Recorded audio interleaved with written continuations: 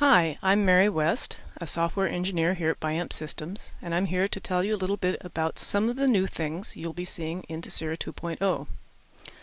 One of the first things I'd like to show you is the new ports that we have on our blocks. It's no longer required to get right on that port anymore to select it. You only need to be close to see that port highlight and be able to select it. Once your port is selected, it lights up with a very easy to see color and as you go to make your connections to uh, the receiving block, you can also see these clearly lit up and easy to pick.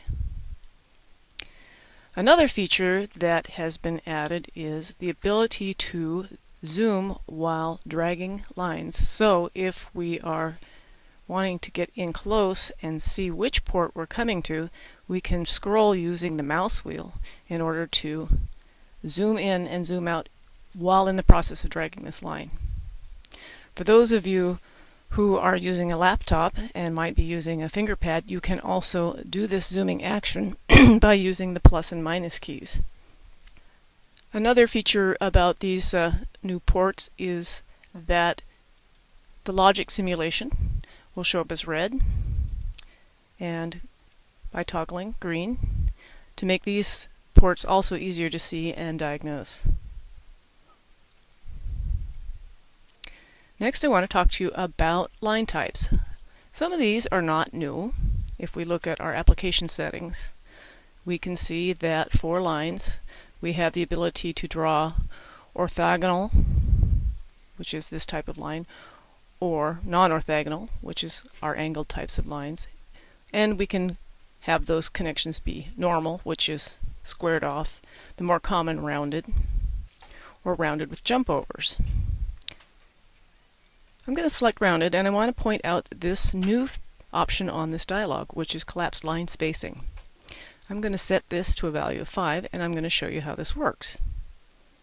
So now that we've set this we're going to select our ports and begin dragging a line.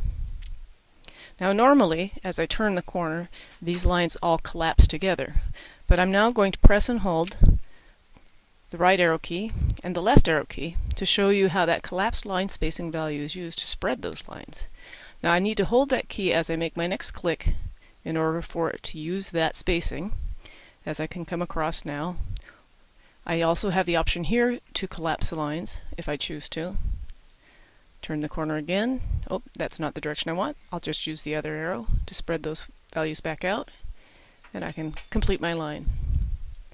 This allows us a little more option as far as seeing each individual line instead of having them overlap as they have in the past and not having to draw each one individually.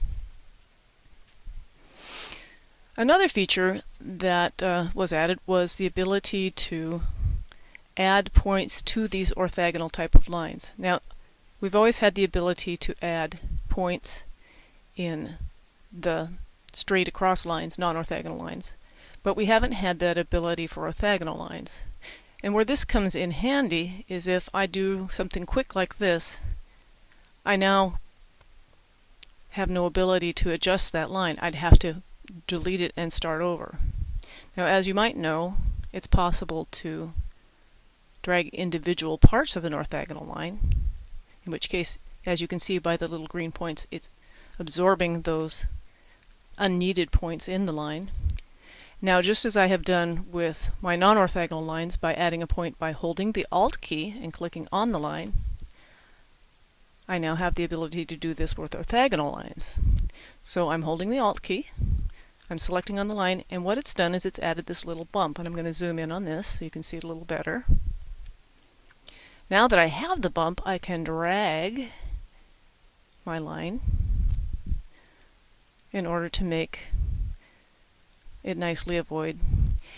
And again, it's going to remove any unnecessary points along the line. But again, anytime I want, I can hold the Alt key and add a new point, a new bend in my line, and adjust it to suit. So I hope that you found this helpful and that you will find it faster and easier to create your layouts with Tesira 2.0. Thank you.